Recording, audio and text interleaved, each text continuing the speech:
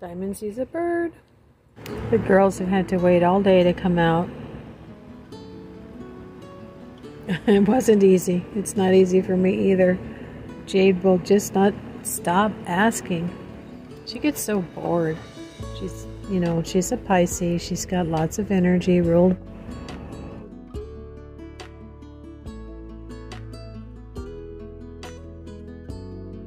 Good girl, Diamond.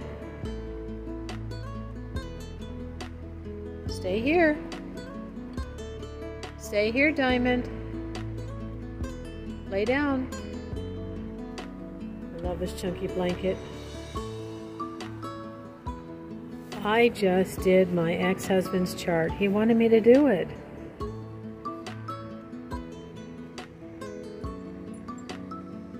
I was very confused. First I did tropical, so I went back to double check and sure enough, I accidentally, it just defaulted to tropical. Hi everybody, welcome to my channel. I am Sabrina, psychic, medium, and traditional witchy. Got my hair done today, and raise your hand and let me know in the comments below. Since it seems like that's the one and only day that my hair looks its best, I put it up I didn't even get any highlights yet. I was thinking about going back and getting them done, but I'm not sure that I actually need to. I don't know, we'll see. It's so silky and so shiny. And uh, the white hairs are colored. It, it's just, it makes such a big difference. So I thought, well, let me get on today and, and make a video since I look presentable. I didn't even change my top because I didn't want to mess up my hair or my false eyelashes. So now I look presentable. I had mentioned recently that my ex was actually very interested in me doing his astrological chart. And I told him I'd been really studying sidereal astrology, which goes by the stars. And he said, yeah. And so he said that he found out his birth time. It was just 3 p.m. I said, wait a minute, just 3 p.m.? you know, it's usually got like 311, 307. He said, well, they don't really do that in my country. So that's all I had to do to go by. And then I couldn't find the city that he lives in with the software that I'm using. So I had to basically use the, uh, what did he call it? Something like the district, which I think in our area, in my area would have been probably called the county. And so I put, what did I put? Paita? Yeah, Paita, which is a district that encompasses Piura and his little tiny town, Arenal, which is where he was born. It has hardly grown at all since he was born there. And so, uh, yeah, I did his chart didn't take me long. At first, when I did the tropical, I went, oh my gosh, you're like the mirror image of me. You are a Cancer. No, excuse me. You are a uh, Pisces, which we thought he was, with a Cancer rising. And then I said, let me go back and make sure my settings are correct, just to make sure. Sure enough, it had defaulted to tropical, and I had to change the settings to sidereal. I also chose a chart that's called whole houses so that you don't see things that are overlapping.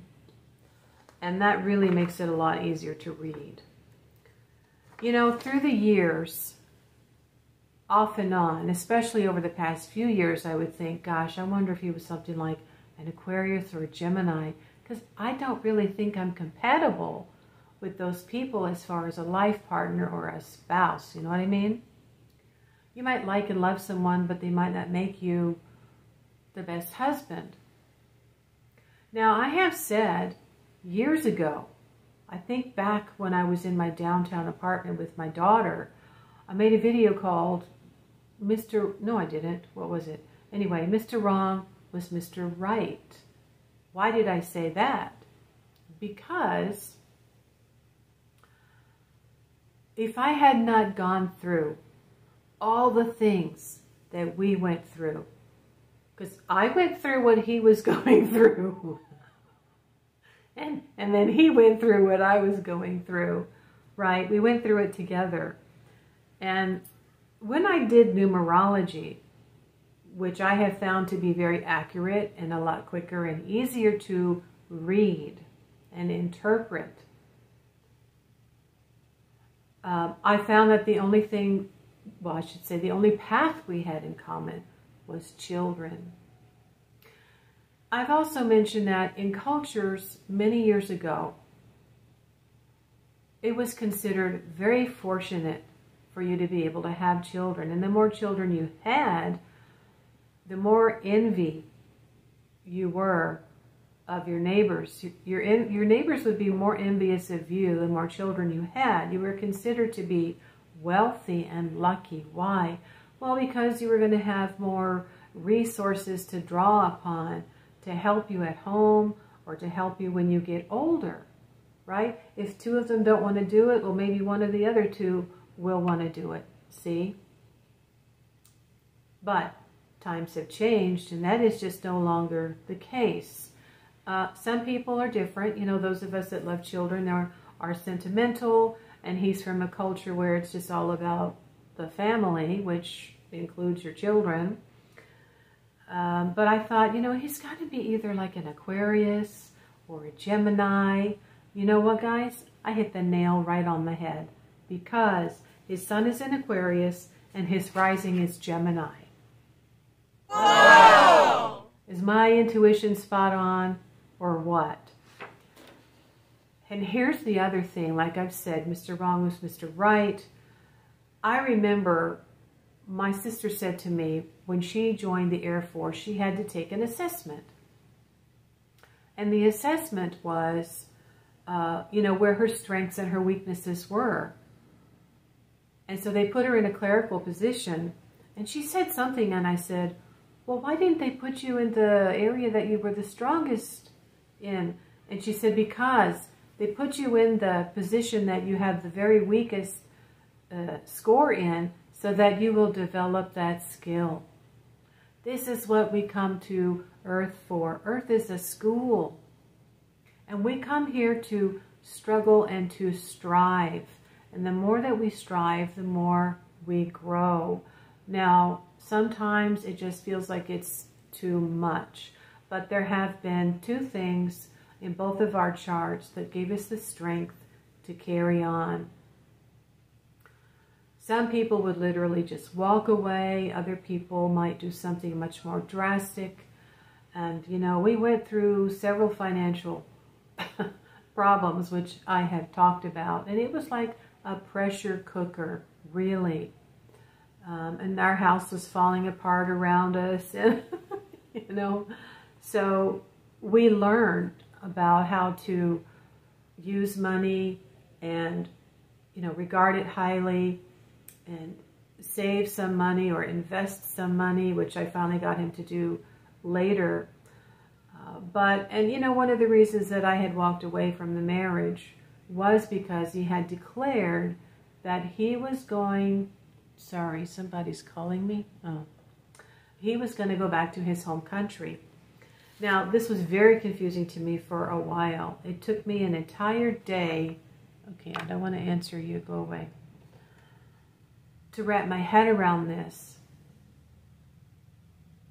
But once I realized that if we had really been compatible, you know, like he was the mirror opposite of me, then uh, we really would not have grown as much. Excuse me. I'll be sorry. Uh, this one guy who for some reason parks over here by my space has parked halfway in my space tonight. And he lives across the way in the other building over there.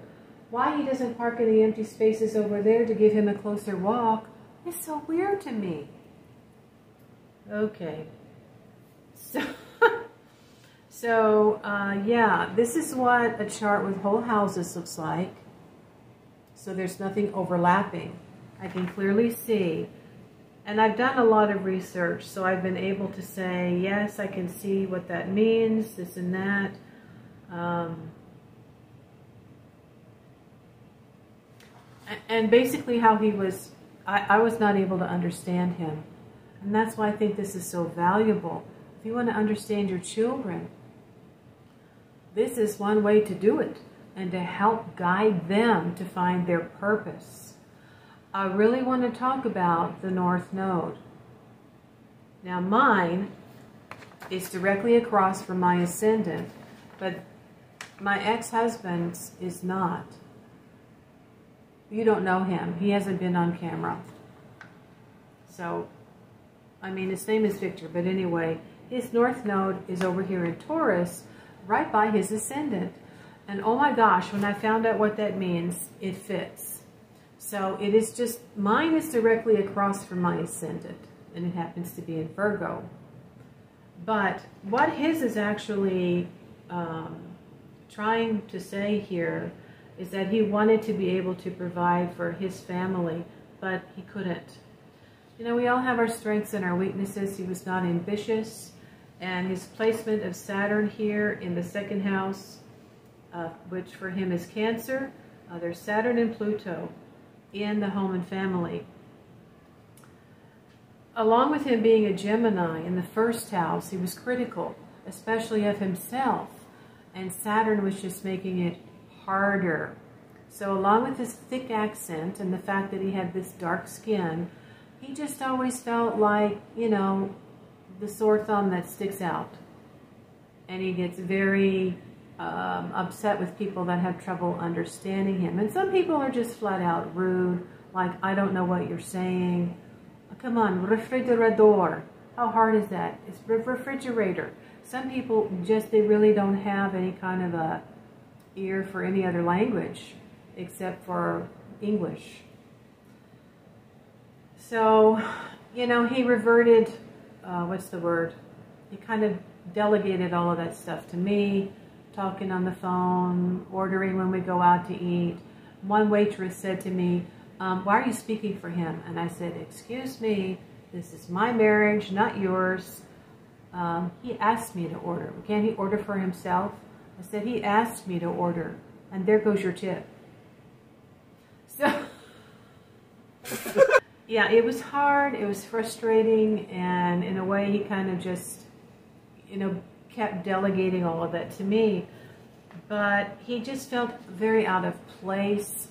And what it indicates here in his sun sign Aquarius, it's so interesting. Um, being ruled by Mercury, supposed to be good at communications. Very intelligent, lots of air. Mercury in Aquarius with the sun, this really indicates a problem with the father. The father not really being there. He wasn't. He left uh, to go find work. His mother was left alone. He reveres the mother very much. And he did tell me recently that he wished that he had made more money. I could have stayed home, right, to focus on being a mother and a housewife, which is all I ever really wanted to be. I just didn't want to be dirt poor. And when I did stop working, I had to make the trade-off. If I wasn't going to work, I was going to have to give up lifestyle. Boy, did I ever. So, yeah, um, but there uh, we have, I put in his part of fortune, it is in Leo, and that has a lot to do with being a parent, you know, and, and being a, a soldier. So he has a moon in Aries, and that gave him the will to keep going. Now, with his Saturn in Cancer, he had, uh, we had hardships, but he also had a discipline. You know how I've said Saturn is a turtle, he had to get up every day and go to work, and he did that even when he was sick. I learned that from him. I learned that type of a discipline from him, except when I was really sick and I couldn't go to work. It just happened a lot in my life. But yeah, um, the hard work and the discipline did pay off, and it is looking at the, um, well, it's got a line to the sixth house, but really, from where the uh, first house is, it is something to do with also the fifth house. In that on his mind was his children. And so it was it was it was more difficult. He could be nasty with his words. He really could. If I would say something or comment or be frustrated, you know, well, I make enough money for me, or, um, you know, I'm doing all I can, and um, I can't leave you alone all the time with the kids, right?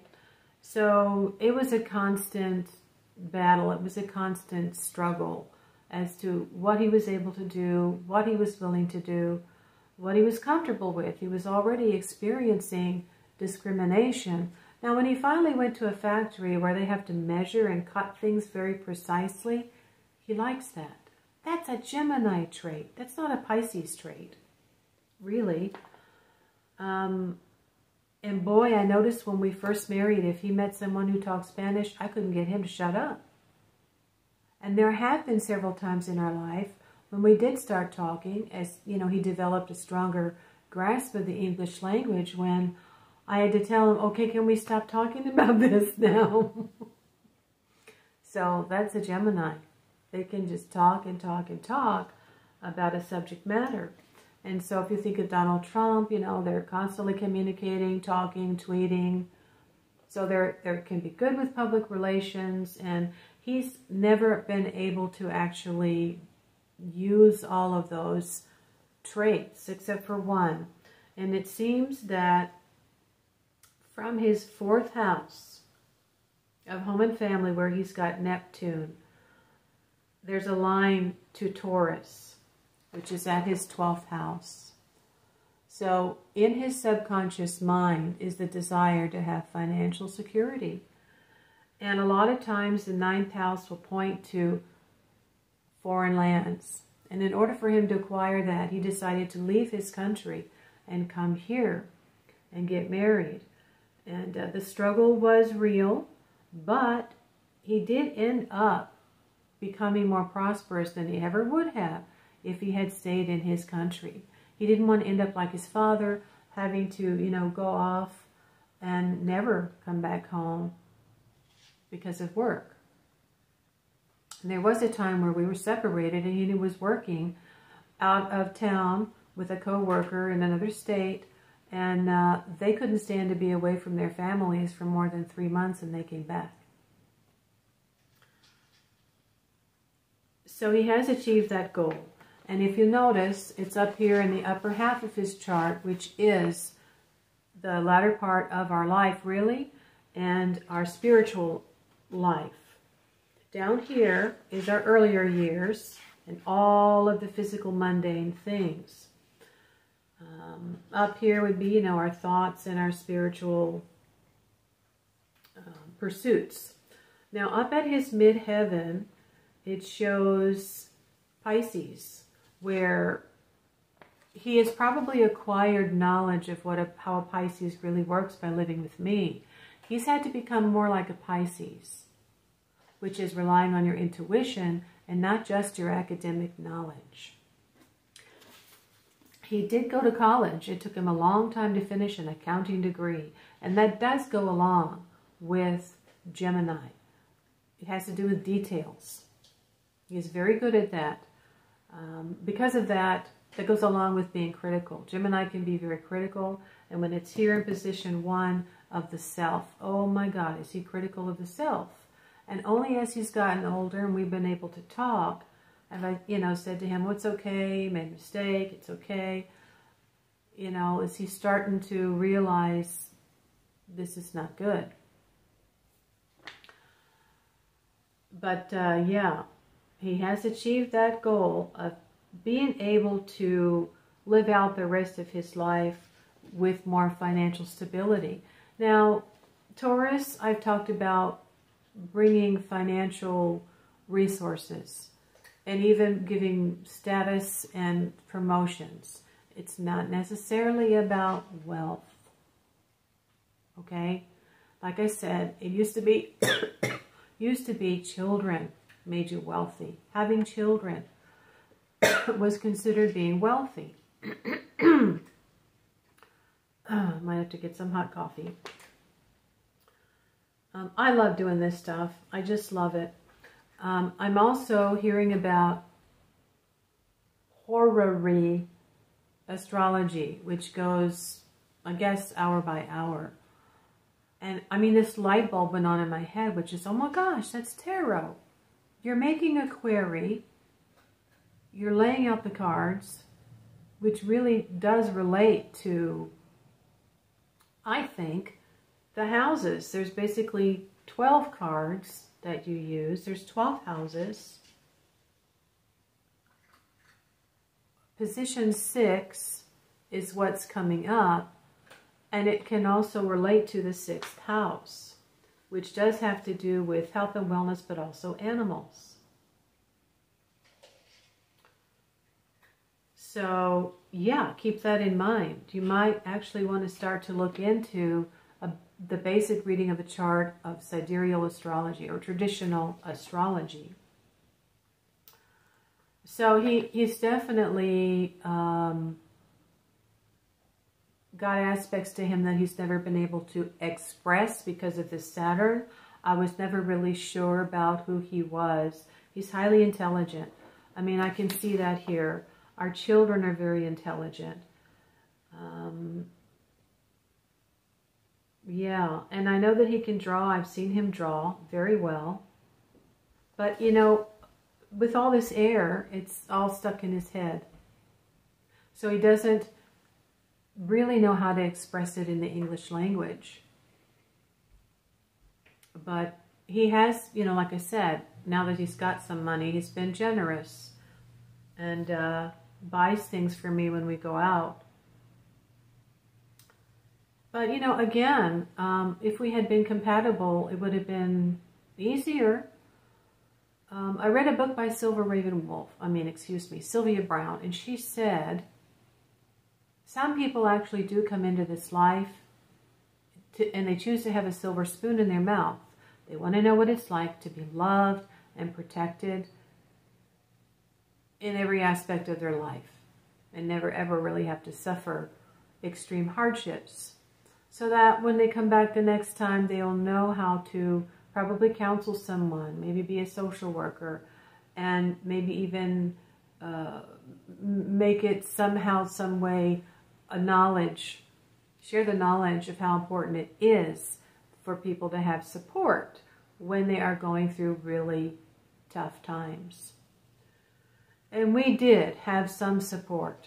We had a little bit from my sister. We had a little bit from my mother off and on.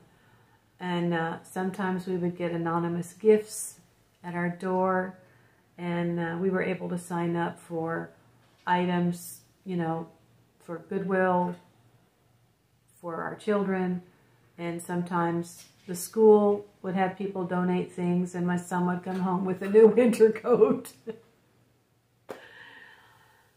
but you know, sometimes your pride gets in the way and you have to just say, okay, you know, for my child. I'm walking around in clothes with holes in them, but our children are taken care of. And so that was our main, that was our main uh, joy. And here with his moon in Aries, you know, I feel like that was the warrior, you know, the father or the mother. But in his case, he had the strength and the will to get up every morning and be the warrior to go to work, to at least pay for the lot rent, the mortgage on the tiny little mobile home and the water and the electricity. You know, I mean, it was hand over fist, but he kept going, he kept going, he kept going. And he knew that he had to. So, and Saturn does provide rewards from time to time. This Saturn doesn't punish you forever. There is light at the end of the tunnel if you've been diligent. So, and there's some other things here too that I'm going to go over with him, but uh, this North Node is the most interesting. And so for me, I've, I've also learned that just because mine is on the opposite side of my ascendant doesn't mean somebody else's north node is going to be on the opposite side of the ascendant. And I, I, I, I misspoke when I said that in my previous video.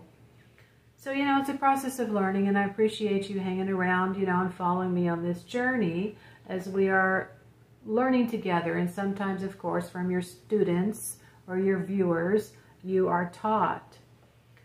But yeah, when I first looked at this, I went, ah, what? Same thing like with me, right? What?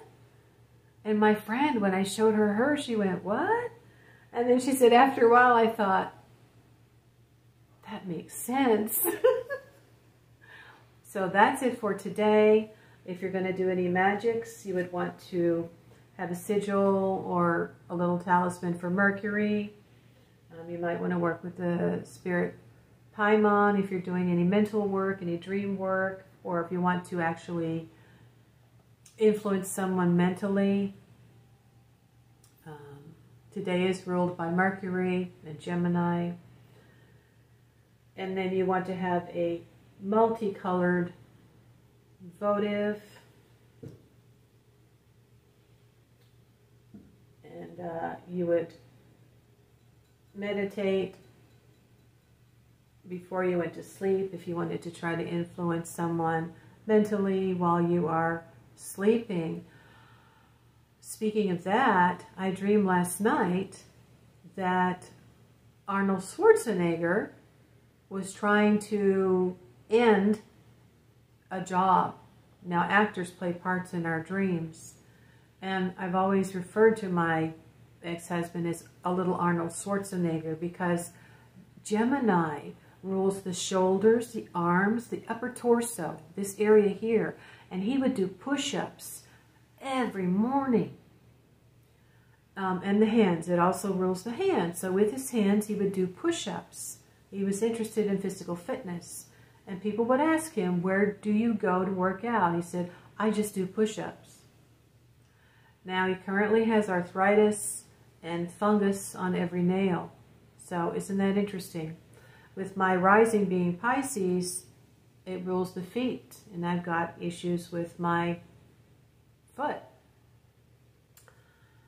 Um, but yeah, this has been an informal video. I just wanted to get on. Well, everything is looking really presentable.